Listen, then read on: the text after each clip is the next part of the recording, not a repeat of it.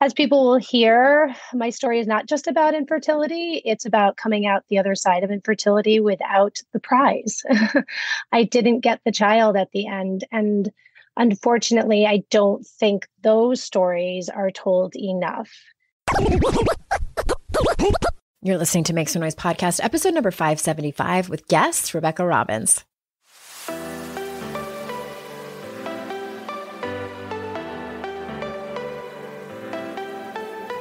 Welcome to Make Some Noise podcast, your guide for strategies, tools, and insight to empower yourself. I'm your host, Andrea Owen, global speaker, entrepreneur, life coach since 2007, and author of three books that have been translated into 18 languages and are available in 22 countries. Each week, I'll bring you a guest or a lesson that will help you maximize unshakable confidence, master resilience, and make some noise in your life. You ready? Let's go. Hello, everyone. Welcome to another episode of the podcast. I am so glad that you're here. And today we have a little bit of a different episode. It is kind of a conversation about shit that matters with unqualified people, kind of a interview with an expert. It's a former client of mine, Rebecca, and she is coming on the show to share her experience with infertility. I had a couple of you last year when you were so gracious to fill out the longer podcast survey that I send out once every year or so, asking about this particular topic. And when she volunteered to come on and tell her story, I jumped at it. And it's just a really honest and vulnerable look into what it's like. Of course, this is only one person's journey, but I do think it's an important topic to talk about because I am by no means an expert on this. And I'm just glad that uh, we have her to be open about this journey that she's been on. So, more about that in just a minute. The only announcement I have for you is about one-on-one coaching. The thing I wanted to tell you, this is the the FAQ that I get the most, is how much time is involved in this. It feels like such a big commitment, I know. And I usually meet with clients either every week or every other week. I don't like to go longer than that. Our sessions are 50 minutes long, five zero. And other than that, it's up to you how much work you put in between sessions. You do have access to me in between sessions. I would say on average, my clients do about an hour or so of work. So it's really only a handful of hours a month that you need to, to dedicate to it. I'm also not doing any group coaching this year. Maybe this year, I, I really doubt it. Definitely not this quarter. And so if you do want to work with me, one-on-one is going to be the way to do it. Head on over to andreaowen.com slash links and you will see the button to find out more information about it the cost, the logistics, who my ideal client is, all of that, as well as the application to to get started. And of course, it doesn't obligate you to to uh, sign up. It's just an application, and then we can get on the phone together. All right, enough about that. Let's get on with the show. So, without further ado, here is Rebecca. Rebecca, welcome to the show. Thank you for having me, Andrea. I was so happy. And like I was thinking about calling this one of those conversations about shit that matters with unqualified people. Mm-hmm. Um, but mm-hmm. it's not really that. Like, uh, you know, you're not a, a, a, professional expert in this particular field around, you know, fertility and infertility.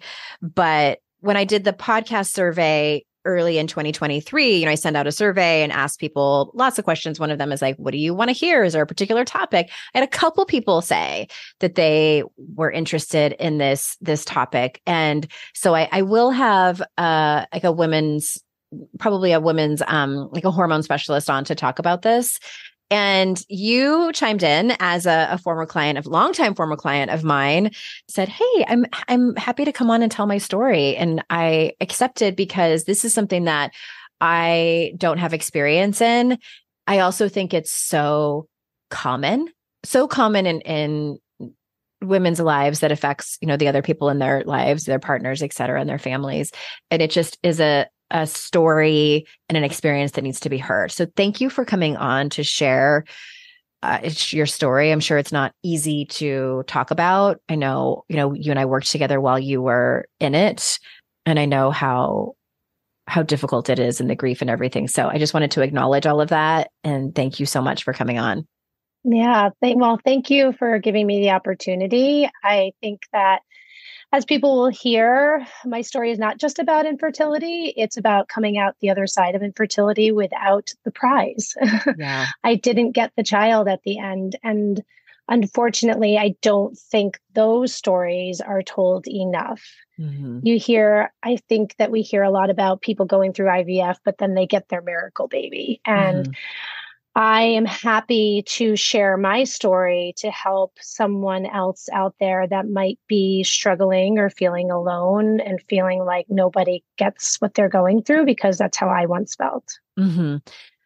Okay, so before we start, I, I, you know, I didn't do like a a typical bio because you're not here to talk about like what you do for a living as an mm-hmm. expert. But can you just, you know, briefly introduce yourself? Like, where, what do you do for a living? Tell us a little bit about you on a personal level? I am a speech language pathologist by mm-hmm. day. and a great I, and fun one at that. ah, thanks. I own my own business, private practice called Mindshaper SLP. And uh, we focus primarily on working with neurodivergent individuals and mm-hmm. their families. And in my practice, I really have a a foundational philosophy of involving parents in um, the work we do with their sons and their daughters. And I, I say mm-hmm. sons and daughters because I also work with young adults in my practice. That's a big part of what I do. So I don't necessarily refer to them as children. I live in Pennsylvania with my now husband. mm-hmm. As what might come up in my story, my road to love was a rocky one. And Andrea yes. helped me get to a place where I was able to attract my now husband in a healthy mm-hmm. way. And I moved to Pennsylvania to be with him in 2020. And I aside from all of that, I'm also um, an actress. I love theater. I'm a, mo- a cat mom right now as well.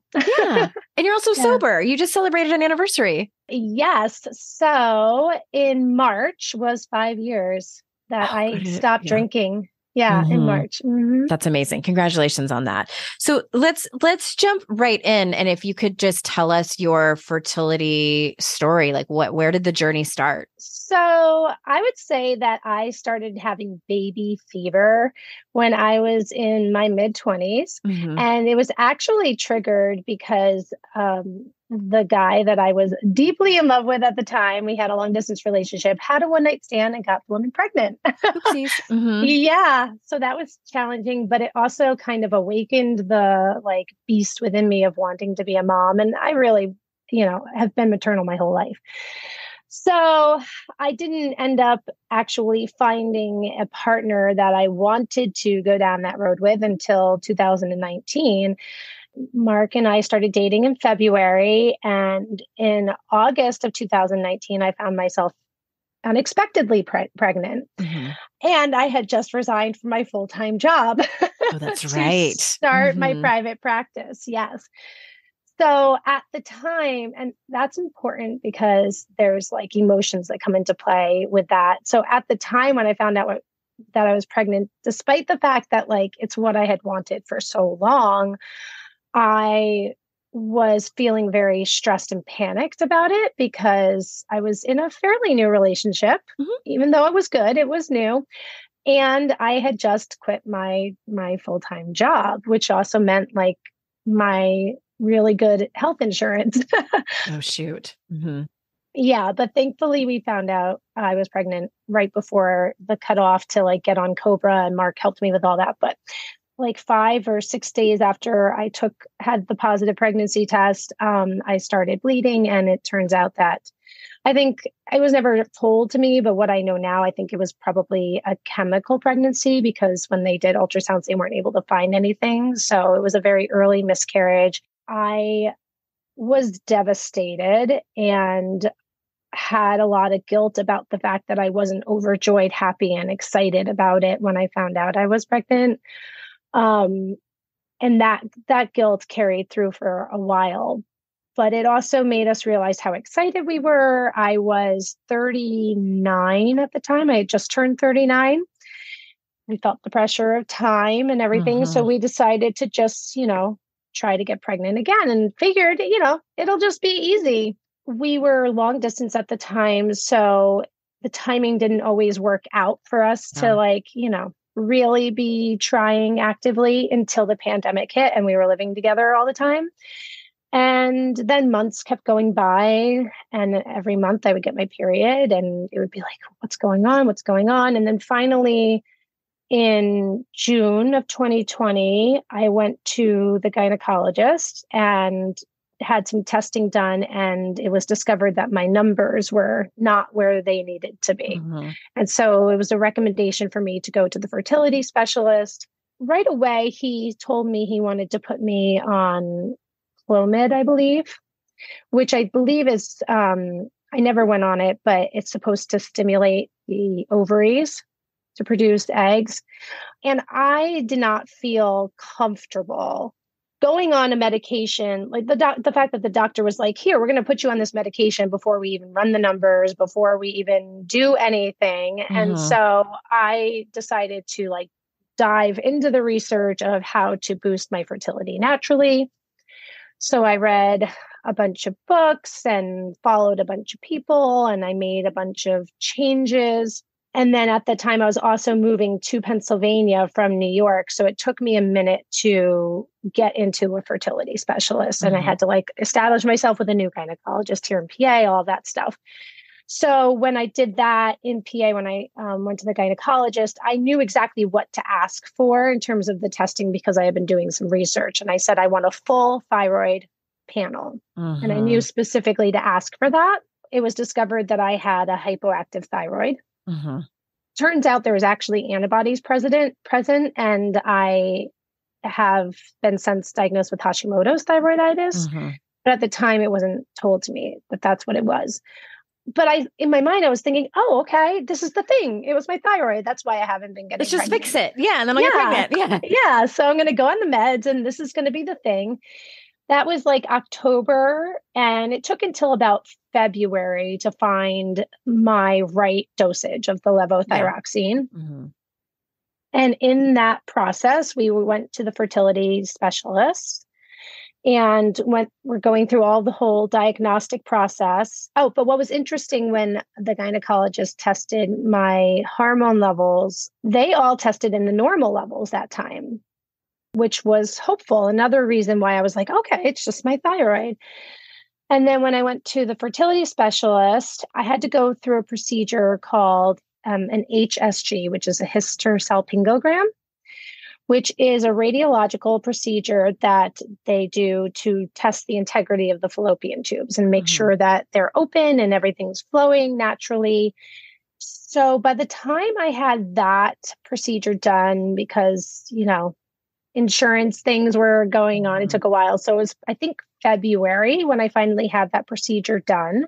This was my second attempt to get it done. The first attempt, the doctors told me to go on an antibiotic prior to the test. And then when I went to show up for the test, I had gotten scheduled with the wrong provider.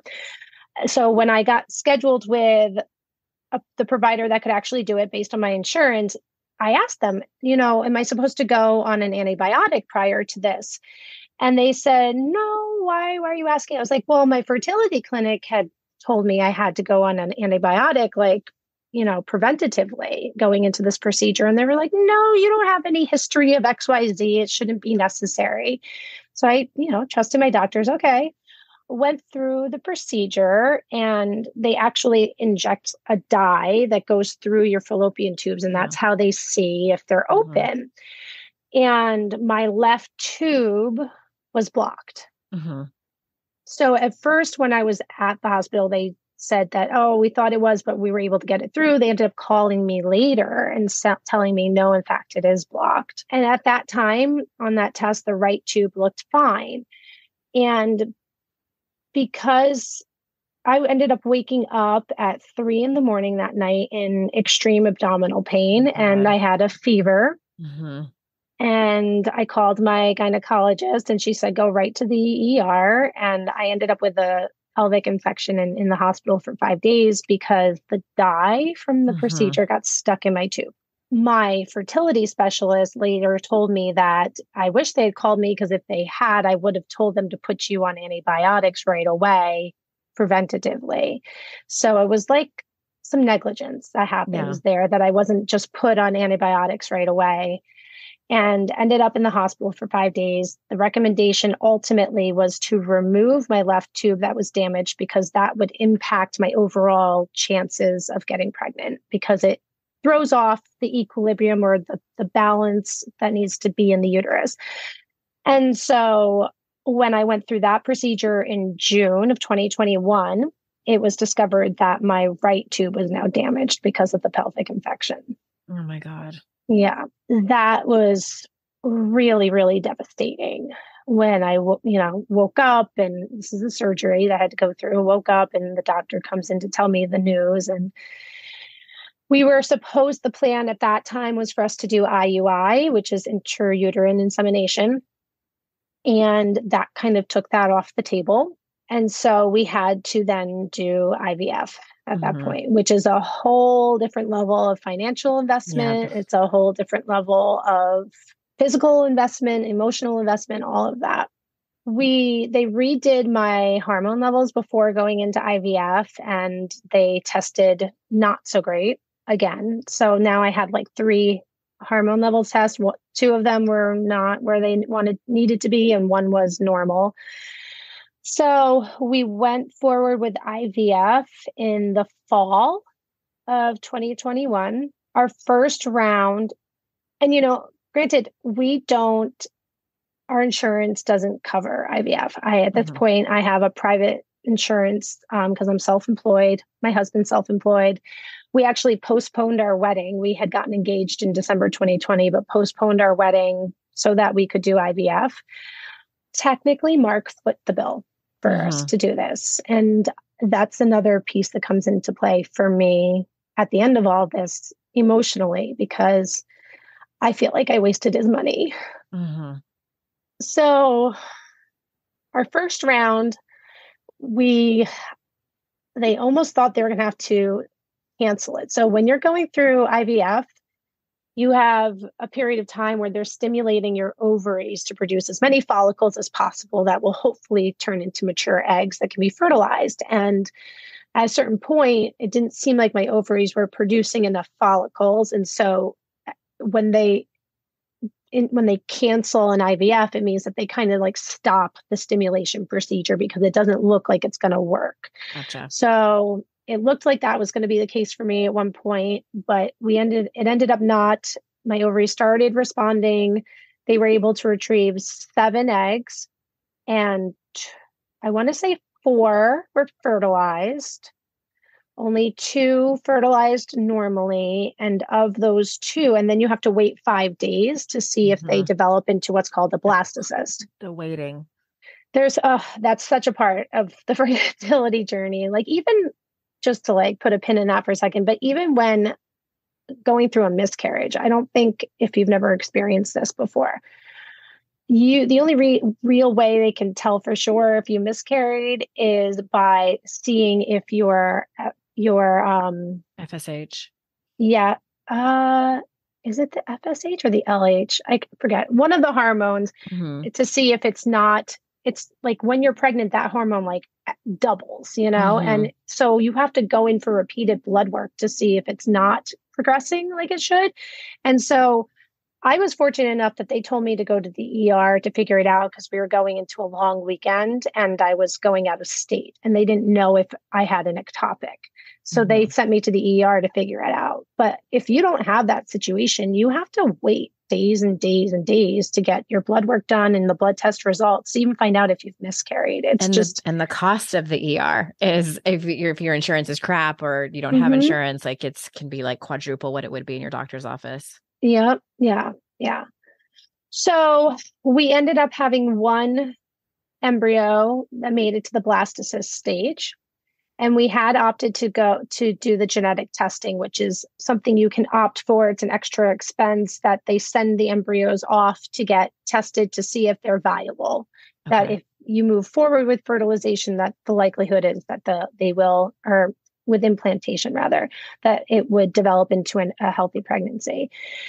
And unfortunately our little guy or girl did not pass the genetic testing so we went into a second round. We were fortunate that the fertility clinic that we worked with had like this package where you can buy two rounds of IVF for a reduced price than if you were to just kind of do it all a la carte. Mm-hmm. So we had two rounds, and then the second round, I my follicles seemed to respond much better, but they still retrieved only seven eggs. And this was Thanksgiving Day 2021. I had my second egg retrieval, and you know, we're still in the pandemic, and Mark wasn't allowed to come in with me. Mm-hmm. I wake up from the egg retrieval and I ask them, like, how many eggs did you get? And they said seven. And for some reason, I guess I just knew, like, there was just something about me that knew that it wasn't going to work in that moment. And I just lost it. And I just kept saying, I want, I want Mark, I want Mark. And they're like, he can't come in. I'm so sorry. So I just had to kind of sit there alone and deal with it until um, you know I had recovered enough from the anesthesia that I could like go out and see him again. We got the call the day after that think there was only two eggs that fertilized and only one that fertilized normally, and that one never made it to the blastocyst stage. Mm. So at this point in time, I'm now 41. After all of that, my and because of how I responded or didn't respond to IVF, my fertility doctor did not recommend that we try IVF again with my eggs. And the recommendation at that point was for us to do donor eggs. Yeah. Which, you know, we thought about and considered. But the thing about don't this particular clinic, the donor eggs, they give you this option of like it's like a financial security option that if you basically can prove that my body is 100% capable of holding a healthy pregnancy, then there's financial security of your investment that you either walk away with a healthy baby in your arms or you get all your money back. Oh. Because you're using eggs from people that are in their, you know, fertility mm-hmm. prime. But for me, because of the situation with my tubes, the only way I would qualify for that program would be to remove my other tube even though it wasn't completely blocked. Absolutely. After that, there would be no chance of you ever conceiving naturally by some correct chance. Mm-hmm. Right. We would literally be putting all our eggs in that basket. you know, the odds of that working, I guess, are higher. Um, but for me, it was really hard for me to wrap my brain around basically sterilizing myself. Yeah. And I wasn't ever quite able to like make that choice. Plus, it's not like it's free. it was mm-hmm. another like $50,000 that we would oh have to be in our pockets Rebecca. for. Yeah. And when we were going through our IVF, my brother was very generous and did offer to pay for a, another round of IVF for us. Mm. And I didn't feel comfortable taking that amount of money from him because I didn't have faith that my body would be able to do anything with it. So I felt like I would have just been wasting his money. So at that point in time, we were both emotionally taxed and exhausted. Mm-hmm. So basically, for over two years now, our lives have revolved around getting pregnant and fertility treatments and the ups and the downs of did it work? Did it not work? Did it work? Did it not work? We were exhausted. Um, him emotionally and financially and me physically and emotionally and and so we just decided at that point in time to take a break and see let things kind of simmer and see where we've you know how we're feeling. And then from there we just decided that we were going to leave it in god's hands and not mm-hmm. move forward with any more fertility treatment. Oh my gosh. Okay. I i need to pause for an ad break. And i just before i do that i just want to thank you for sharing such a a vulnerable story. When we come back i do want to ask you i want to dive in a little bit to the to the grief because i i think it's very specific. So we'll be right back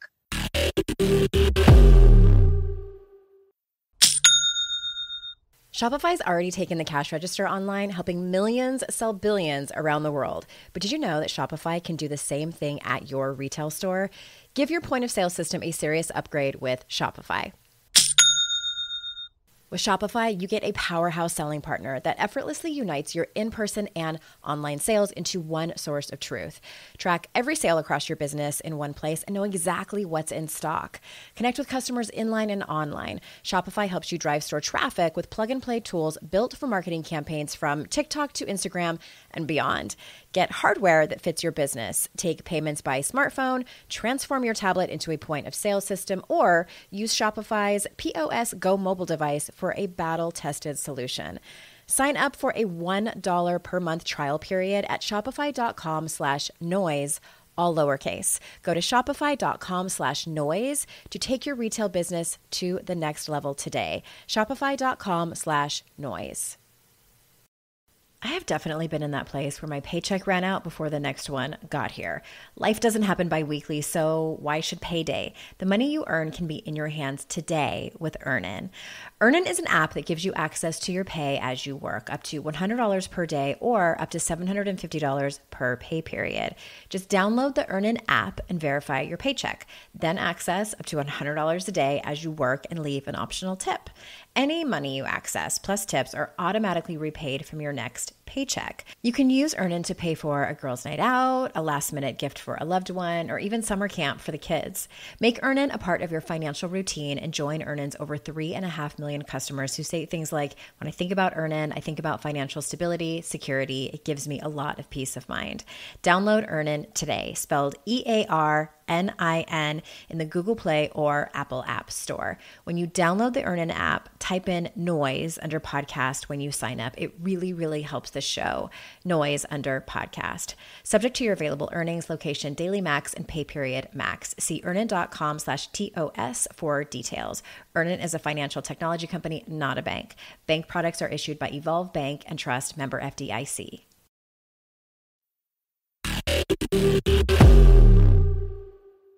All right.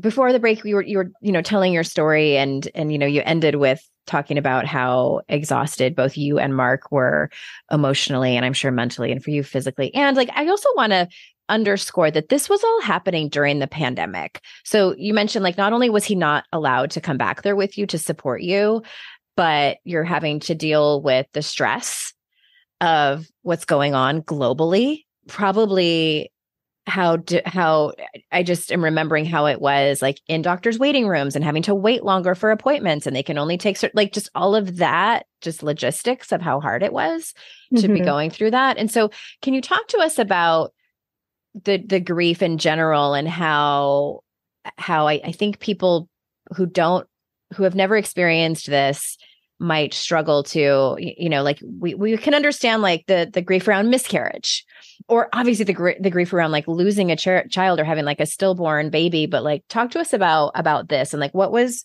what was kind of um was there was there anything that sort of surprised you that took you by surprise about the grief?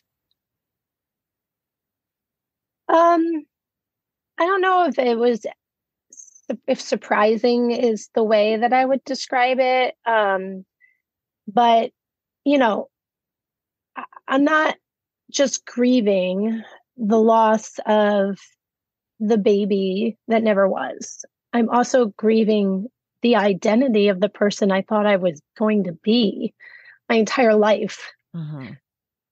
Um, I I remember saying like, if I get nothing else out of this life, I all I want is a little girl. Mm-hmm. You know, it's all that I ever wanted was to be a mom. And I didn't know how to envision a future without that. And that that still hits me in moments that I don't expect. Yeah. You know, where I'll be fine just moving about my day, making dinner. And then the thought it will pop in my head like, oh, I can't wait to teach my kids about this one day. Mm-hmm. And then I'm like, oh, wait, right. That's not going to happen so I guess that's kind of unexpected is the, how it creeps in in just the most mundane parts of life. You know, you would kind of expect it when you hear a pregnancy announcement from someone, or you expect it when it's you have to go to a baby shower or you see your kid your friends interacting with their kids or whatnot but you don't expect it when like you're cooking or gardening or doing something like that and just this random thought that you don't even know is going to happen pops in your head and you realize like oh that's a dream that's never going to get realized mm-hmm. Mm-hmm. so those are those moments i think are almost harder than the in your face ones mm-hmm.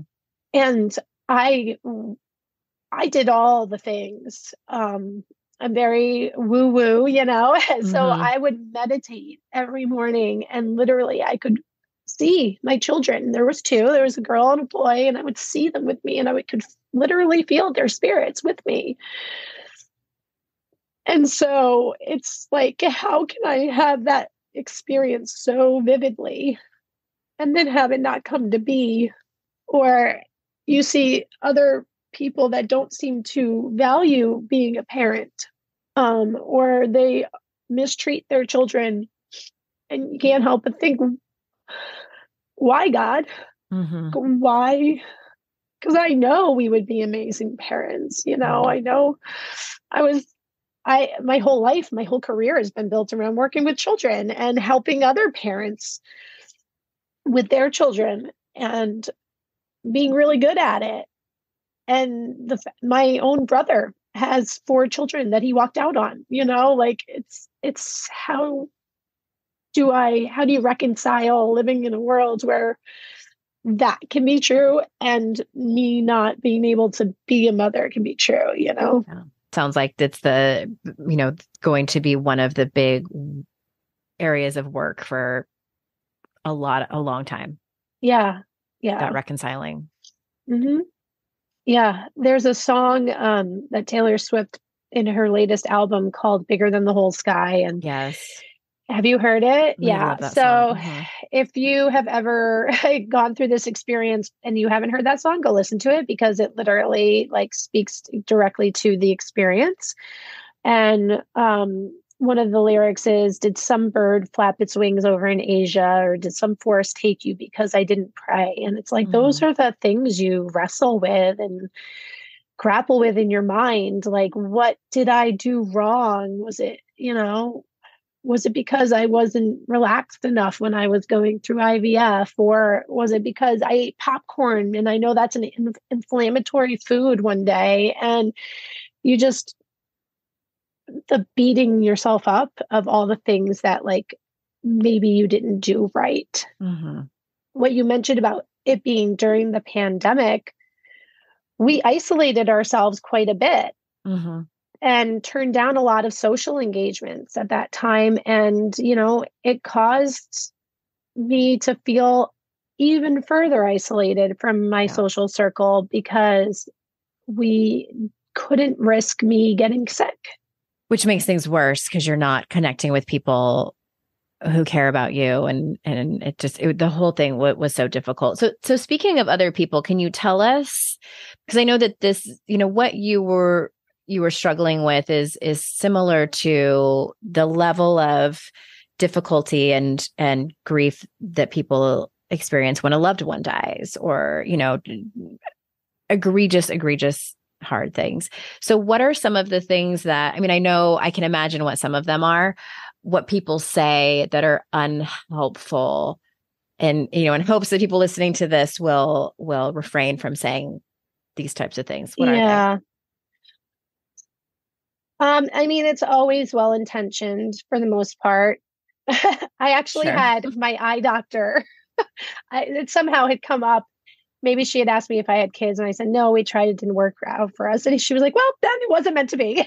oh my god! So it was almost funny because she was so matter of fact about it, and it didn't. That didn't bother me too much because I was that was a few months ago. So it was okay. like a little bit farther removed from the situation. But like, don't do that. don't say that, please. I would, my um, big mouth would have been like, well, it's one way to look at it. Weird, but okay. Yeah. I was like, yeah, I was just shocked. I couldn't believe she said it. But yeah, I think for me, because of the situation with my tubes, where and that's the thing where you don't know what anybody's situations are i had i was in a support group with another woman who ended up having to go through a hysterectomy because she was misdiagnosed with cancer And that's why, you know, and so you don't know what parts people even have left in their body after going mm-hmm. through fertility treatment. And so hearing people say, "Oh, my so and so went through that and and they ended up having the baby yeah. and and all of a sudden they got they got pregnant without even trying." And that you know, I know that it's people trying to give hope. But when you're saying it to someone that that most likely is not either definitely can't happen for or most likely won't happen for, it's not comforting. It's just a reminder of what can't be. Mm-hmm. And so I would caution people, you know, not to share stories of other people that had success in some way or another going through the fertility journey because it might not be seen as helpful. yeah. Um, which is, I know, counterintuitive because you feel like you're saying a positive story of hope, but it's it can it's actually not helpful in many circumstances. And what is helpful is just saying i'm really sorry that happened for you. Is how can i support you? Or i'm here to if you ever need to listen you know? Or if it's someone that you're a really close friend with maybe just asking them straight out like especially if you have kids and they you know they wanted kids and it didn't work out for them like ask them straight out like how do you want me to handle yes. kid kid events moving forward? Do you want me to include them or is it too painful to even be invited? Or do you want to be invited but you know if you decline i will totally understand. And just get find out directly from them like how they would like to move forward because it also doesn't feel good to be excluded because you don't have kids either. Right. But they're because they're just assuming that that you that that's helpful. Right. Yeah. I i love i love that so much. And i'm sure that you know we could spend several minutes talking like the list of unhelpful things that that people would say but i think maybe the bottom line of it is don't try to fix it like yeah. as well intentioned as it is and like you said like sometimes a story of hope is more unhelpful than anything than even being neutral and and you know giving giving advice i think especially if you are someone who has never experienced it is incredibly unhelpful and mm-hmm. the best thing like always default back to exactly what you said and just acknowledging how difficult the situation must be for the person. Yeah. And the other thing is don't ask the person like, "Oh, well, have you thought about trying this or have you thought about trying that?" Like, have you thought about getting a second opinion? Have you thought about adoption? Like those sorts of things because for us, we made a choice to stop when we did.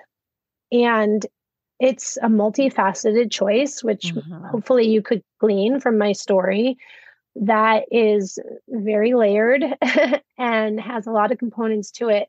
And to be asked the things, well, why don't you get a second opinion or why don't you consider adoption? It almost comes with an innuendo of why did you give up? And at least that's how it feels on the yeah. receiving end of it. And because it is something that I struggle with. Like, did I give up too soon? Should I have kept pursuing? Should I have gotten a second opinion? The fact of the matter is, like, these things and the financial reasons are the biggest reasons that people stop fertility treatments. These things aren't free. We mm-hmm. have other goals and dreams that we want out of life. And it wasn't technically, and while my husband is so generous and supportive. It wasn't technically my money that was footing the bill here. And I didn't feel comfortable spending other people's money on my body anymore. I had lost faith in its ability to do what supposedly it was made to do. I'm sure that that's, you know, what you just said, the identity of, you know, that my, as a woman, with these particular parts, we grow up with the assumption like this is what my body is made to do. Like this is largely, you know, like quote unquote, like what I am here for. Yeah. And to grapple with that, I always assumed that that was part of the grief and the myriad of emotions. I, I, I, I can only assume like I would feel anger, frustration, just raging at the sky for what what should have been. You do. You feel like, or at least for me, I, your value as a woman feels mm-hmm. diminished. Like I, I am a failure as a woman. But there's also a societal viewpoint that is a woman's value is in motherhood. Whether it's overt or not, it's definitely there. Mm-hmm. in this culture in society. Like let's switch gears a little bit just for sake sake of time. I know this could be like a three hour a three hour tour and is and is definitely you know should be. You know how have you you specifically and also you and mark as a couple I don't know if those are separate if you want to talk about them together or, or which, but how have you moved forward? And I'm I'm I'm assuming there's not like a line of demarcation where you're like December 31st, 2021, we decided to move forward. Like it's an ongoing progress process. Yeah. Can you talk to us about what that looks like? Yeah. Well, it's interesting. There actually almost was like a, a switch flipped. Um, so it was Thanksgiving time where we had our failed second round of IVF, and I was pretty low for all of you know the rest of November and December and everything. And then I decided to throw myself into Christmas that year and like went over the top, like decorating and making cookies and everything else. I know you love a, a good theme. yeah and it was just my way of distracting my brain from yeah. all the sadness and everything. And then I got COVID, oh. um, which was another distraction from the sadness, which I think was good because it helped me get to the place on the other side of it, which was sometime in like January. I I kind of had this moment where I was like, you know, because just to like backtrack for a second, back in 2018, my life was a hot mess. it was. It was. You needed to go through that. it was a hot, hot mess. I was living in my the frog at my friend's house, which is the family room over the garage. Mm-hmm. I went through a lot to turn my life around, including using your programs and the Daring Way curriculum, which was a huge game changer. Um, and no, she did not pay me to say this, folks. I was like, thanks for the plug. yeah, no. And then I, I quit drinking and mm-hmm. I literally changed my life with all of those hard things that I, I choices I made to turn my life around. I called in the love that I always wanted. I quit my full time job and started a business, which was now thriving. If I looked at my life, aside from the childlessness, if I looked at my life now or at that point in 2022, and it was me back in like that time 2018 i'd be like girl what are you crying about? Look at everything you have in your life right now. Like it's everything you wanted. You did it. You turned your life around. And i think because i went through that dark night of the soul back then mm-hmm. which honestly was deeper and darker than going through this fertility journey and interesting, if you can believe it mm-hmm.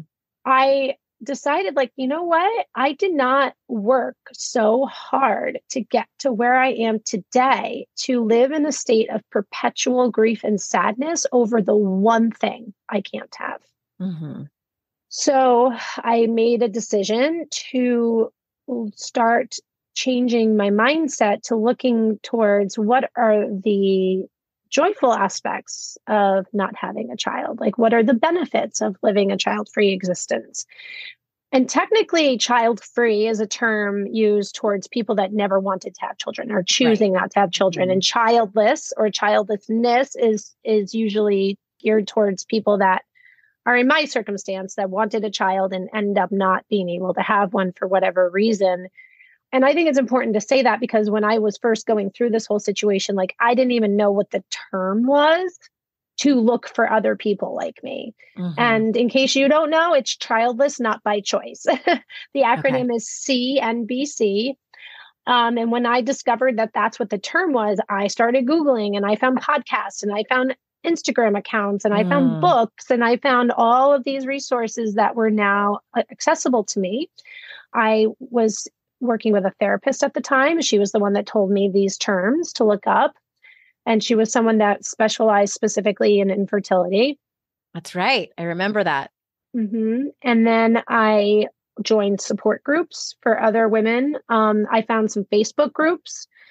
There's one local of like childless women of Philly or something like that, so that I could maybe find other women in my area that I could connect with in similar situations.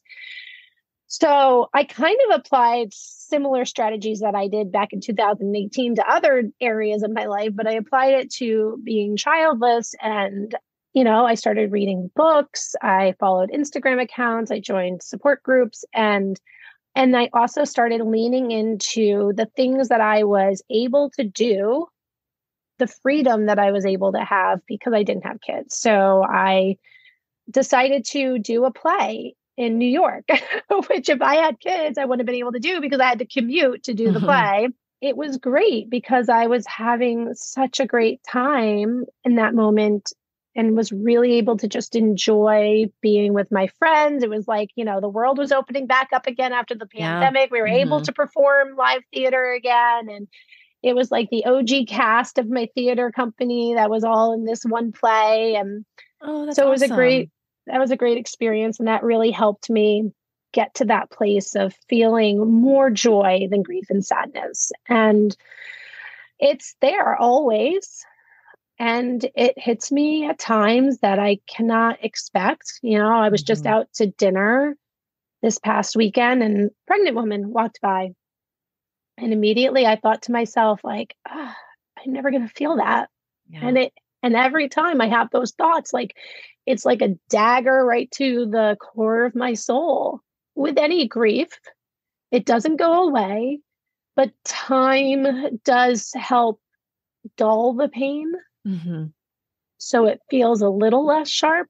Yeah. When it happens. And it's not something that typically takes me down the way that it once did. Yep. That's the goal. I we're gonna we have to take one more ad break and then when we come back, I want to ask you specifically about the therapist and I want to talk about grief a little bit more. So hang tight. Today's podcast is sponsored by MIDI Health. Ladies, are you over 40 like me and dealing with hot flashes, insomnia, brain fog, moodiness, some vaginal dryness, or weight gain? Don't just accept it as part of aging. These symptoms are often linked to hormonal changes during perimenopause and menopause. At MIDI Health, they get it. Their experts know what you're going through and how to help. MIDI clinicians are menopause specialists offering safe, effective, FDA approved solutions. And guess what?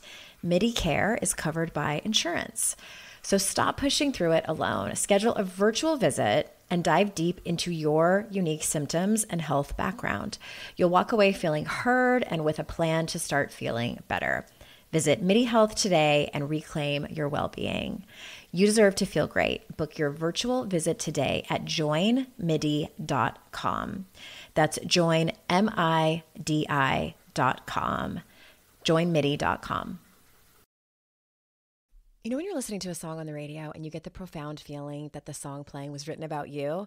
Now imagine having the power to gift that same incredible feeling to someone you love with an original song from Songfinch that actually is written just for them. Songfinch lets you create an original radio quality song inspired by your own life and the people you love. It's completely unique, personal, and lasts forever. Whether your song is for Father's Day, an upcoming graduation, wedding, or anniversary, or even just a gift to show your loved one how much you care, start your song now to lock in one of Songfinch's top artists.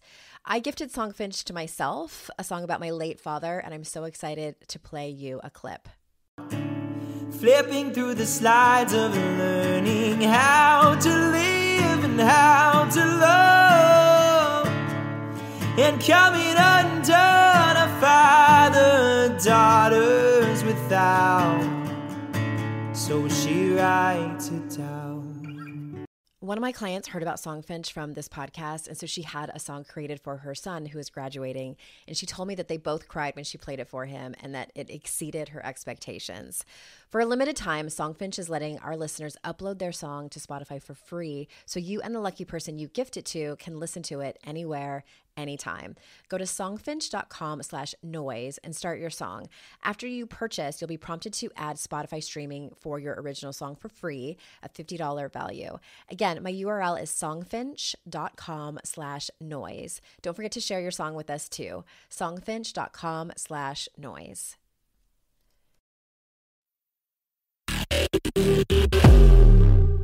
I want to I want to point this out and this is not at all to like pat me on the back, but I I remember when I remember talking to you when you were in the middle of it and I had suggested that you find a therapist and I, rem- I remember specifically telling you like you need to find a therapist who's who has a specialty around this topic because I I'm a huge advocate for therapy and I do think that there are some things that we're going through in life where you need a specialty and and this was one of them. And so can you tell people how you found her? I think you had suggested to go on like psychology today. Uh-huh. Is that what it is? psychology today. I think it's dot com. Yeah. Uh-huh. And I recommend it all I, the time. That's how I found her. Mm-hmm. Um because you can search for specificities.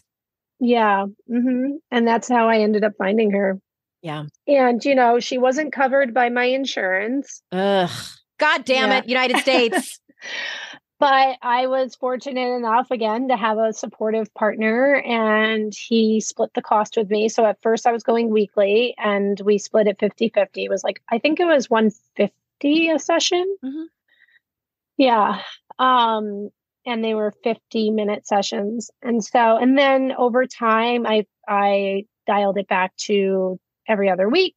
And then after that, I think I dialed it down to like once a month. And eventually I was like, I think, I think I had gotten everything I could out of that particular dynamic with yeah. her. It was immensely helpful at the mm-hmm. time, you know, and we didn't just talk about the fertility stuff. We talked right. about all of the all of the things that goes into what makes me me right, and my right. psychosis. neurosis. Um, yes, neurosis. Thank you. it sounds a little less dramatic. Yeah. Well, you know, I'm not if I'm anything, it's dramatic. That's true. this is true. You do have the flair. but anyway, yeah, I highly, highly recommend working with a trained professional so that you can mm. really. She was able to hold space for me to have my pity parties and then also was able to provide the resources necessary that I needed to move forward. And so I started working with her when I was in the thick of the fertility treatments. Yeah. So I already had this dynamic in place when it all didn't work out. Mm-hmm you were talking about what you were going through in 2018 and you, you, just like had all these life circumstances that were just hitting you all at once. And your story was the the client that i talked about in make some noise where the chapter on like writing it out. Because like sometimes like you can have all the tools like you can be into it in personal development and therapy and then just sometimes life hands you a fucking shit sandwich. And you have to just like take it day by day and you did. And i and i want to just acknowledge that. And underscore what you were saying about how that impacted you in a positive way to go through this this next difficult chapter of your life and how you were able to use that as a jumping off point as like because I talk all the time about how confidence is gained and like through resilience because sometimes like we try things and it doesn't work out. And you know for you during that time it was a relationship it was just a, a several different things. And and and like you gleaned from that a, a sense of resilience and confidence that like okay yeah this infertility fucking sucks and i can also make it to the other end and still mm-hmm. live with with the grief so i wanted to acknowledge that and also what you were saying about grief i i understand that different circumstance and you know when my when my when my dad died and the way i describe it you know we love a good metaphor over here is mm-hmm. that grief feels like the way I describe it is it's like somebody rearranged all the furniture in your house and they rearranged it terribly. Like there's a coffee table in the hallway. There's like all these like the toilet's like in the middle that of the you bathroom. Stub your like, toe on every time exactly. you walk past it. like for a while, you stub your toe on everything. You trip over all this furniture. You're angry that it doesn't make any sense. And then eventually you just kind of get used to it. Like it's still there. Mm-hmm. It's still there. And every once in a while, you stub your toe on it, you know, mm-hmm. like what mm-hmm. happened to you in the restaurant. And you have to just accept it. And you have to like ride out that grief of seeing that pregnant woman and and like having that feeling co- overcome you of like, I'm never going to experience that. And like shed the tears, say what you need to say to whoever you're out to dinner with, like do the mm-hmm. journaling when you get home. But it just gets a little bit easier to navigate. Yeah, it does. And I also think that part of the reason that it was easier to navigate is because I wasn't numbing it. Mm. People tend to, and this was my pattern back in the day. I mm-hmm. numbed to get through my tough situations. And because I numbed to get through my tough situations, I never actually like went all the way through them. And so that's what I did in 2018. You know, I had to go all the way through all the stuff that I had been numbing all that time. But because I was going through this with my eyes wide open and actually feeling the feelings, I feel like it took, I went through it quicker than mm-hmm. I would mm-hmm. have otherwise. Mm-hmm. Yeah, I, I hear that a lot from people. And I've experienced that as well, like going through difficult times. So before we close, is there anything? I know you have a lot of resources. So mm-hmm. do you want to mm-hmm. mention any of those? And I can, you know, if you want to send me a list, I can put them in the show notes for people. And also, I just want to make sure that if there's anything that we didn't touch on that you want to say before we go, so you can feel complete about this. So I'm not sure when this episode is airing, but World Childless Week is September 11th through the 17th. WorldChildlessWeek.net. They have a, a bunch of resources that if people go to that website, they can, you know, I think see recordings from past years' events and speakers. And if it's past the date of the live event this year, I think you can see the recordings from this year as well. There is a community called Gateway, I believe, and they have, um, I think it's hosted on Mighty Networks. Jody Day is also another big name in the childless not by choice um, world. She she's written books on it. So those are just a few that I can think of off the top of my head. But if you Google childless not by choice, you're going to find a whole bunch of stuff. Um, and you can look and see the things that will resonate with your experience mm-hmm. and um, what you're going through. I guess, in terms of leaving remarks, is just don't forget that if you have someone in your life that has gone through this, just don't forget that they've gone through it and that, you know, they're still raw about it and they still may need to like they still, still may need your support and they still mm-hmm. may need to cry about it even if it's been a few years since yeah.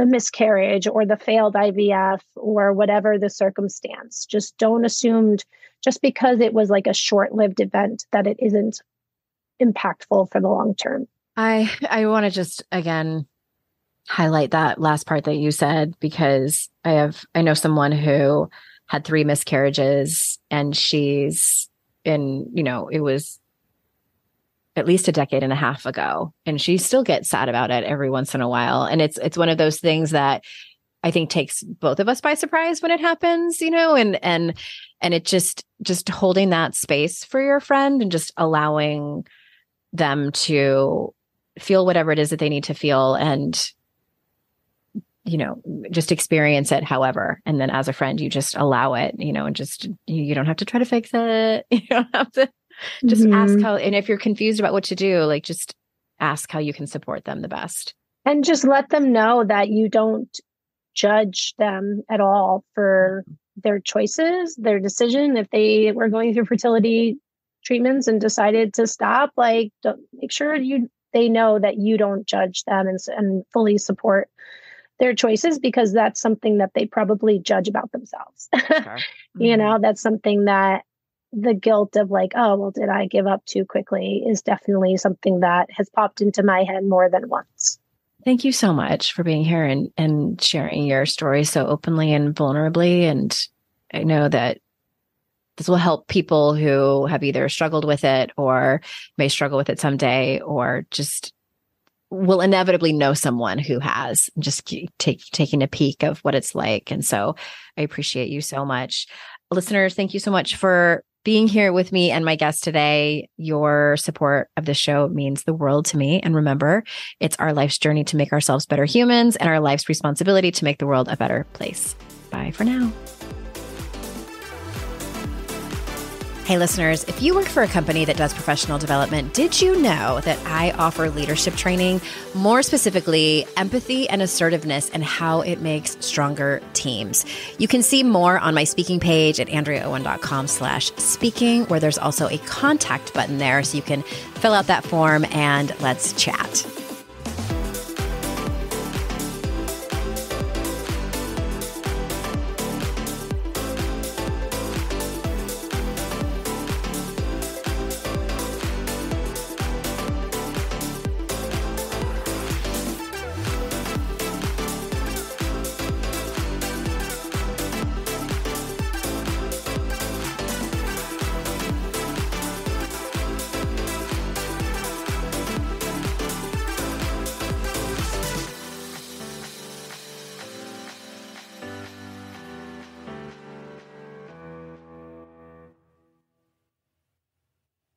I'd like to introduce you to the Minimalist Moms podcast.